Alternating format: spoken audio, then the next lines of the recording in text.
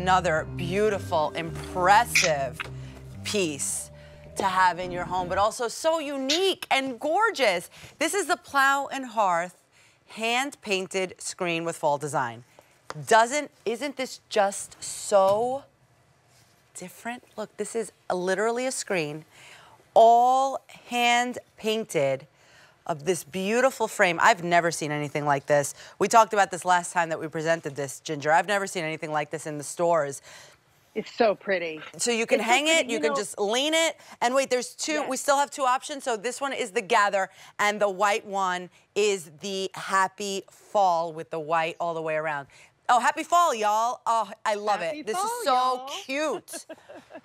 Isn't it adorable? So we all love signs. You see signs everywhere that are out in the market. It's just one of those things you can't get enough of.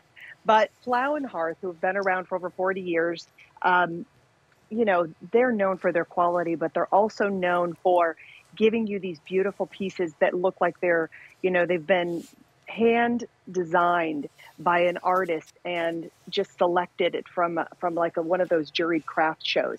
This is great because it does give you that wonderful, you know, saying that's right on there, but you also get a gorgeous frame that goes all the way around. This is square, a little bit over 15 inches by 15 inches and you can display it on a, a nice easel. You can lean it up against, you know, the wall if you want to, or you can um, put it on your front door or, you know, by your even by your fireplace mantle. But I love the fact that this is all individually hand painted.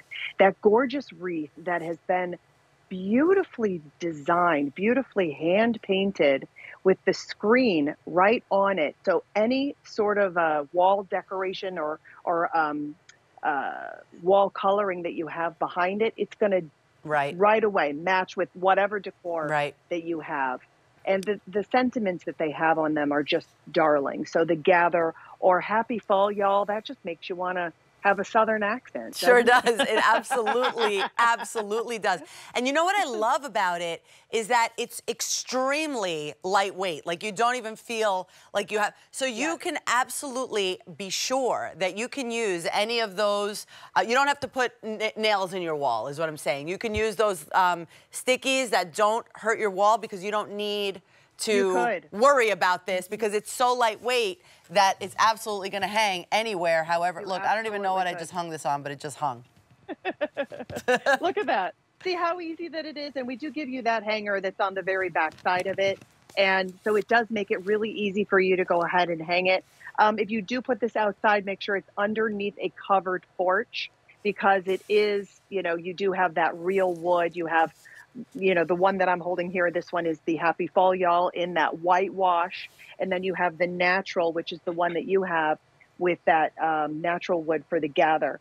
And I love the two choices too, because you know what, I'd almost get both of them because you could you could kind of flank them on either side of a of an area or even just kind of decorate in different places. I know there's so many people that love to decorate for the fall because it is a long holiday for you to decorate with and it, you know endless places on where you can put this around your home absolutely and there you have your sunflowers for you ginger your favorite flower love those sunflowers. so they so, did that specifically for me. for a clearance price of $24.96, we're saving almost $10 on this.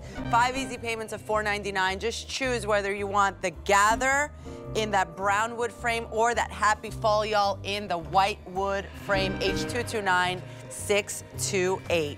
So Ginger is going to be back a little bit later in the show with this.